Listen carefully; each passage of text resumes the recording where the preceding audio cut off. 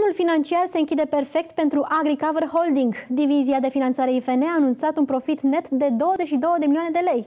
Succesul a venit dintr-o cunoaștere și o înțelegere a nevoilor și problemelor din agricultura românească.